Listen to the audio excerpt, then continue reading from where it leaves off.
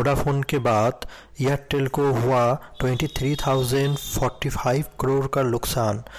रिलायंस जियो के साथ कॉम्पीट किया और हो गया ऐसा बिग नुकसान एयरटेल को।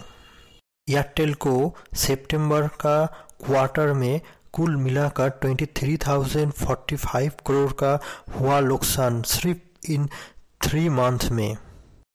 बट एयरटेल ने दावा किया था ईयर का शुरू में कि उसका 118 करोड़ का मुनाफा हुआ।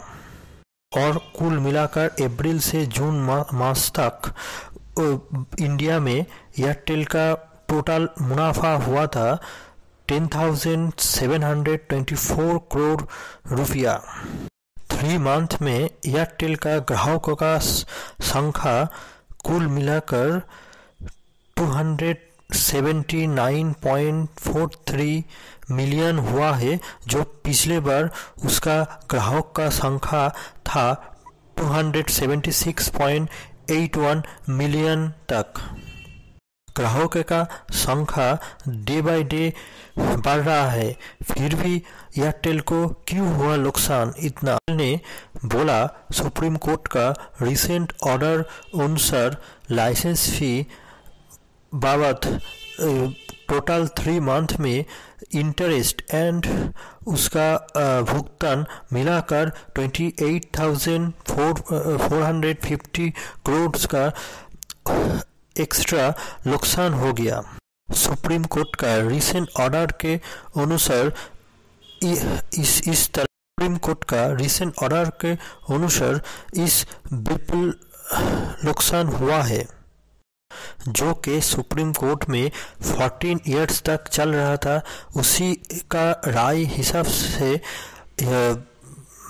इंडिया में जो जो इंडिया में जो जो टेलीकॉम कंपनी था एयरटेल वोडाफोन, जियो, सबको देना होगा, इसी तरह का भुगतान। इसमें एयरटेल और वोडाफोन को हुआ है बिग लॉस जियो को तुलनामूलक कम हुआ है।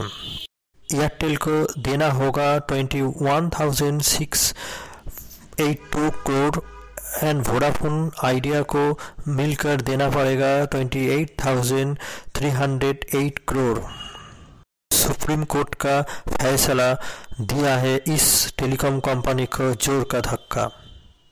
वीडियो को ज़्यादा से ज़्यादा शेयर कीजिए लाइक कीजिए एंड कमेंट कीजिए, और इसी टाइप का वीडियो डेली पाने के लिए इस चैनल को सब्सक्राइब कीजिए।